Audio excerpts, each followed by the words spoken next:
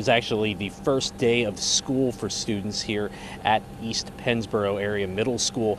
And one of the changes that happened over the period of time when students weren't in class is that the school district decided to place new limits, saying that students had to keep their cell phones in their locker for most of the school day. And this was a change that was made in the intention of trying to make sure that students are focusing on learning.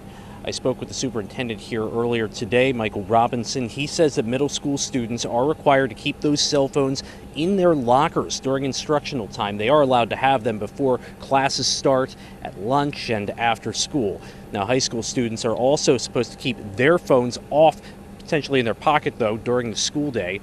The policy change came after months of deliberation around the topic.